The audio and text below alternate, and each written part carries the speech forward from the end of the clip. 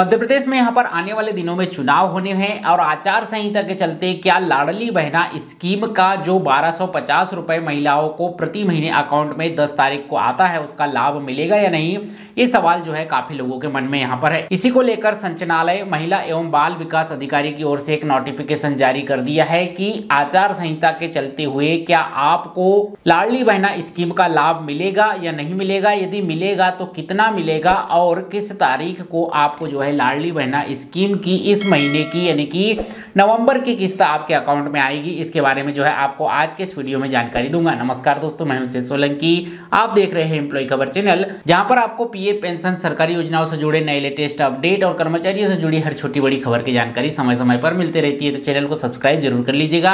चलिए वीडियो में आगे बढ़ते हैं। आप यहाँ मेरे कंप्यूटर की स्क्रीन पर संचालय, महिला एवं बाल विकास मंत्रालय, मध्य प्रदेश की ओर से जारी किया गया एक प्रपत्र देख पा रहे होंगे, क्योंकि ये जो लाडली बहना योजना है, ये भी महिला एवं बाल विकास कार्यालय के अंतर्गत ही यहाँ पर जो है संचालित की जाती है तो उनकी ओर से यहाँ पर जो एक प्रपत्र जारी किया गया है, जो प्रपत्र तीन ग्यारह दो को यहाँ पर जारी किया गया है, जिसमें लिखा है जिला कार्यालय अधिकारी, महिला एवं बाल विकास अधिकारी, जिला समस्त मध्य प्रदेश की ओर से ये पत्र लिखा है और विषय है, मुख्यमंत्री लाडली बहना योजना 2023 के अंतर्गत पात्र हितग्राहियों को माह नवंबर, जो कि अभी यहाँ पर चल रहा है 2023 की मासिक आर्थिक सहायता राशि अंतरण के संबंध में ये पत्र जारी किया गया है। इस पत्र में बताया गया है कि मुख्यमंत्री लाडली बहना योजना 2023 के अंतर्गत पात्र हितग्राहियों को माह नवंबर 2023 की मासिक आर्थिक सहायता राशि का अंतरण निर्धारण तिथि, जो कि 10 नवंबर, यहाँ पर होनी चाहिए थी। क्योंकि लाडली बहना स्कीम के अंतर्गत जो भी पात्र महिलाएँ हैं, उन्हें हर महीने की दस तारीख को मध्य प्रदेश सरकार की ओर से एक एक निश्चित राशि उनके बैंक अकाउंट में डाली जाती है। तो ये निर्धारित 10 नवंबर 2023 के स्थान पर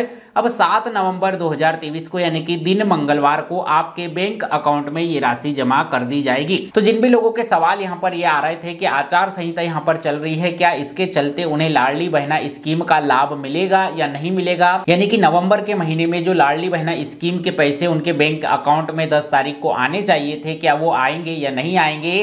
तो अब इस पर गवर्नमेंट की ओर से साफ़ कह दिया गया है कि 10 नवंबर 2023 को जो लाडली बहना स्कीम के पात्र महिलाओं के अकाउंट में पैसे आने थे वो जो है आएँगे, लेकिन ये 10 तारीख को नहीं आएँगे, बल्कि 7 नवंबर 2023 मंगलवार को ही आपके अकाउंट में आ जाएँगे।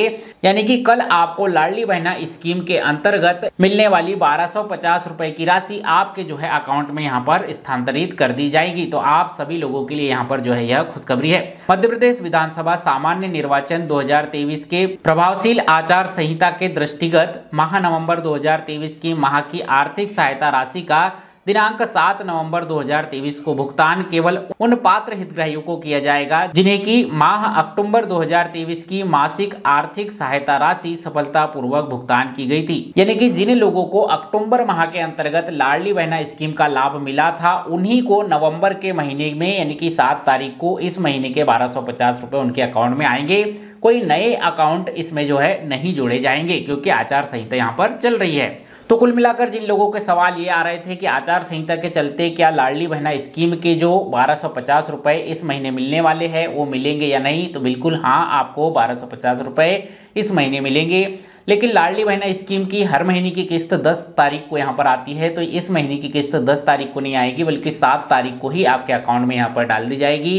यानी कि तीन दिन पहले ही डाल दी जाएगी तो आपके लिए एक और खुशखबरी यहाँ पर है। तो कल 11 बजे के बाद से आपके अकाउंट में यहाँ पर जो है पैसे क्रेडिट होना स्टार्ट हो जाएँगे, यानी कि कल आपको लाडली बहना स्कीम की छठवीं किस्त आपको यहाँ पर मिल जाएगी। उम्मीद करता हूँ ये वीडियो, ये जानकारी आपको पसंद आई होगी। ये वीडियो जानकारी आपको अच्छी लगी हो तो वीडियो को लाइक कीजिए, अपने सभी दोस्तों के साथ शेयर कीजिए। इसी तरह से पीए पेंशन, सरकारी योजनाओं से जुड़े नए लेटेस्ट अपडेट, कर्मचारियों से जुड़ी हर खबर को जानने के लिए हमारे चैनल एम्प्लॉय खबर को सब्सक्राइब कर लीजिए। मिलते हैं आपसे अगले वीडियो में, तब तक के लिए जय हिंद, वंदे मातरम।